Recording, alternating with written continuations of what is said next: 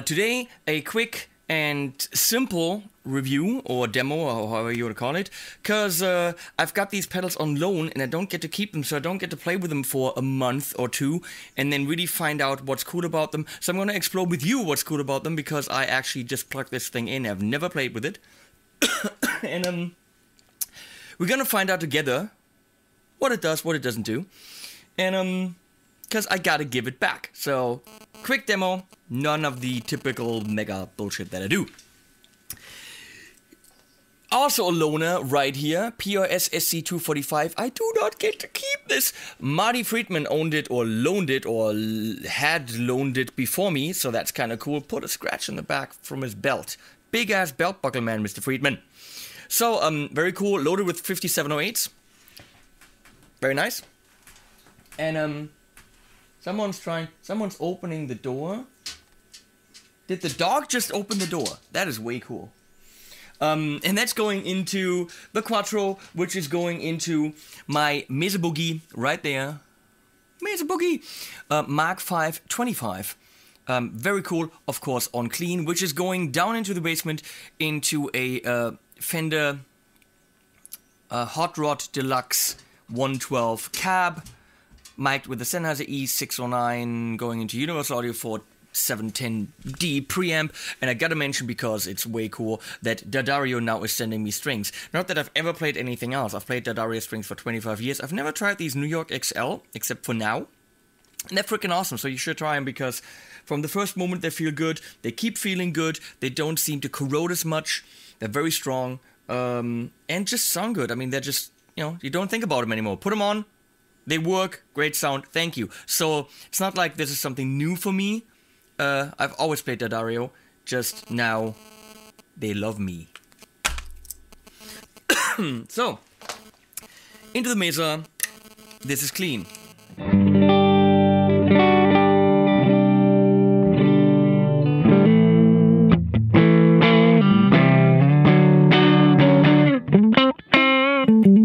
It's a decent clean sound. It's not the Carl Martin Custom Shop 50 clean sound. It's not. But it can be pushed, and of course, the Mesa can do a little bit more in terms of flexibility than the Custom Shop. It's totally different beast. Um. Well, here's a compressor, and it works. Anything else you need to know? No, you don't! Spanky shit right there.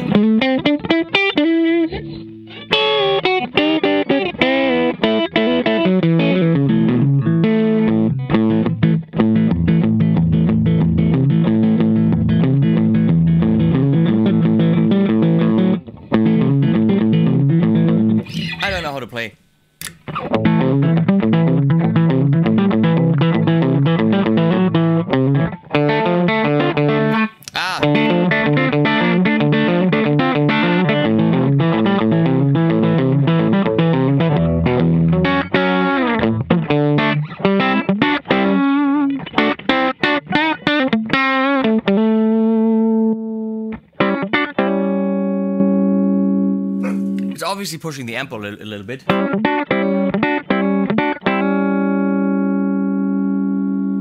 I love the Carl Martin compression. Let's try to be quiet.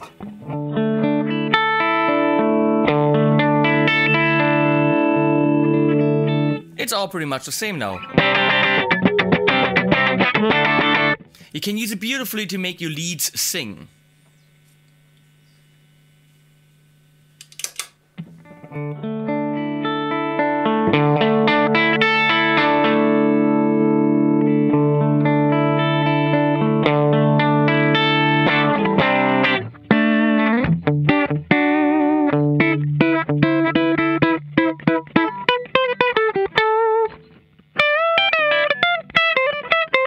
know, it's cool.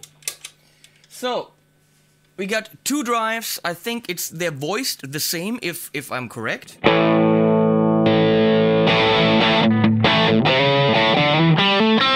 Very thick, kind of maybe plexitonish, but not quite.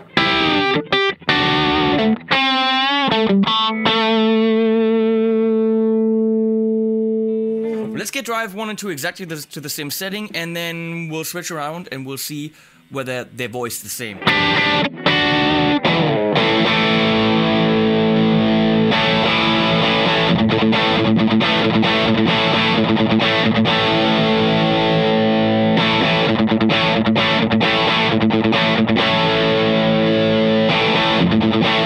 Drive 2 has a little bit more.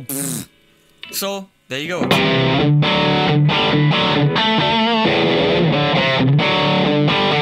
Very nice drive.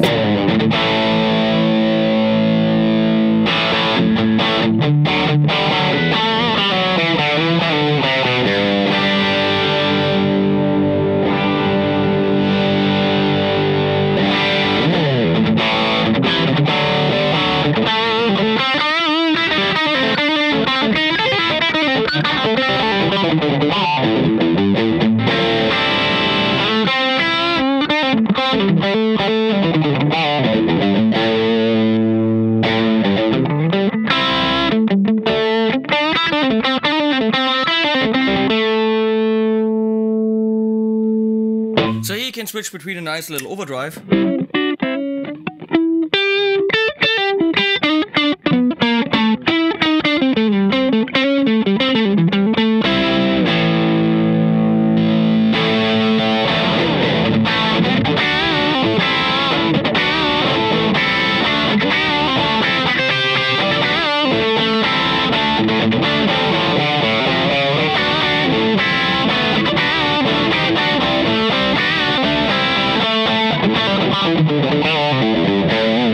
See if we can compress that. Ah!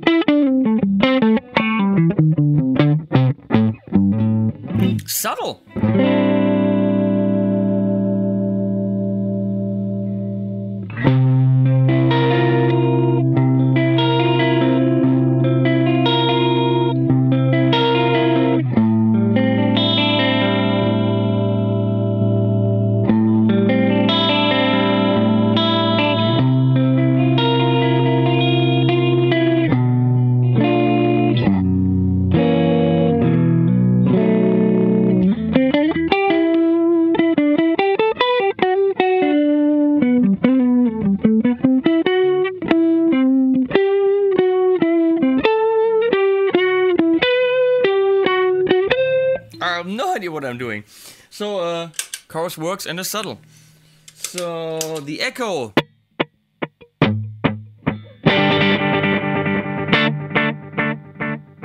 It has tone repeat and echo, which is the level, but it doesn't have time, so it needs to be tapped.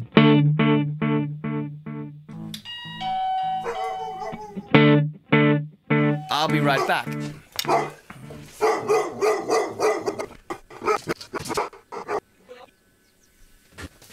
Frickin' neighbors ringing the doorbell and need onions. I don't have onions. So how long can this go? It's obviously an analog delay, so...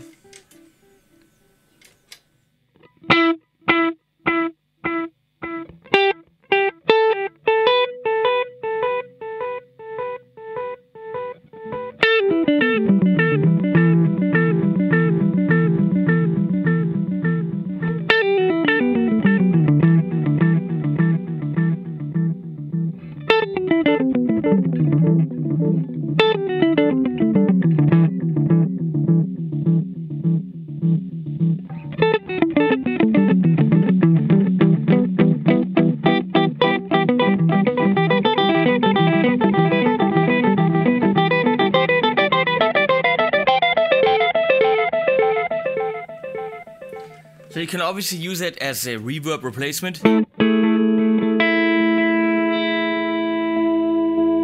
With some compressor and chorus for a beautiful clean sound, I, I hope.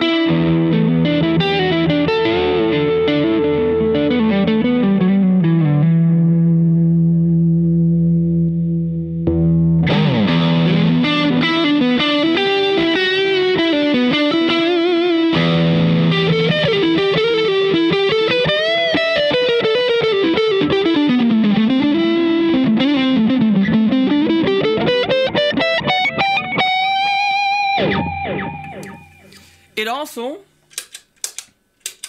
has a send and return, so you can put a different effect in the loop, which you then can, of course, turn on and off by itself. Um, it's extremely sturdy, it's extremely big, it has its own power, but you know what? Let's go into my two cents and well, I'll just give you my bottom line from the experience I just had. That's pretty much all the experience I have. See ya.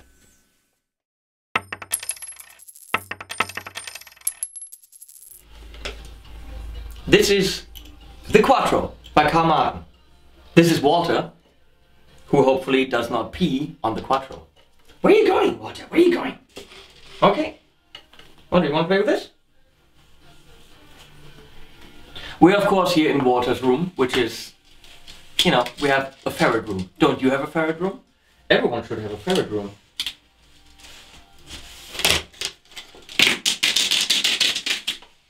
Hello?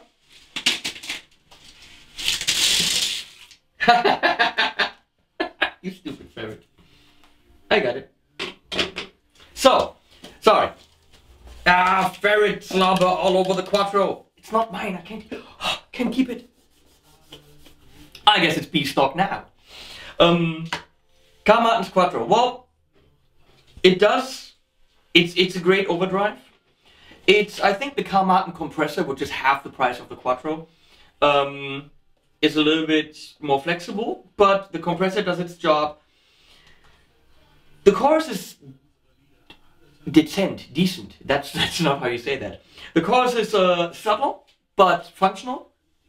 The echo can water.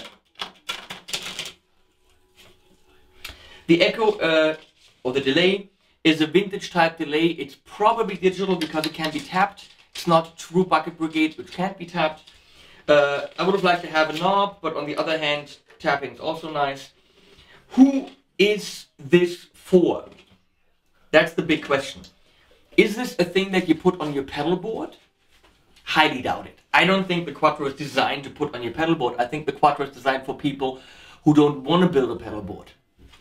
You're not mega picky about what your delay sounds like. This is a great delay, analog style. You need a clean sound, compressor, chorus, echo, on, bam, you've got a nice clean sound. You need a driving lead sound, drive two, on, crank it up, echo, wah! You just need a bluesy sound without anything. Well, overdrive on, drive one down. So this is pretty much a pedal board in itself. It's for the people who want a no-brainer, super freaking stable, you cannot break this pedal board with its own power supply. So there's no patch cables, no power supply, no nothing, and it's super stable. You put this in your backpack, put it on stage, bam, guitar, whatever, you put another thing in it if you want a reverb or whatever, because that looks like it's behind the drive, but in front of the chorus, right here. That's where the loop is. So this is a pedal board in a box, all analog, not the Line 6 kind of modeling stuff, not an M13, all analog. Um, and it's for people who need super sturdy, high quality, Carl Martin quality in portable. Okay? And it's for the ones of you that are looking for a pedal board in one pedal. And it's great for that. If I just had to go to rehearsal, take it, bam, I've got everything I need there. Um, I play rock music, I got my Marshall, I plug in, I can push it with this. Perfect. So it's super high quality, it is compact enough to, you know, be portable. As I said, its own power supply, even has a stereo output. I don't know at what point it becomes stereo, no idea. Walter, psht. Um, thank you. And uh, it clocks in at about 550 bucks, which for everything it has to offer, super foot switch, everything is absolutely okay. So if you're not into pedal boards, which is weird because then why are you watching my why are you watching my channel? Um, this is a solution for you. If you are into pedal boards and sometimes you just want the one pedal solution, this is it. Walter can't get up because because the, all the other boxes are there. That's funny. Show the how Walter is trying to get up. No? Okay. Well, now it's too late. Okay, well, sadly this has to go back. Uh, again, Carl Martin, yet another pedal that I can't really say anything negative about. Way to go, Quattro!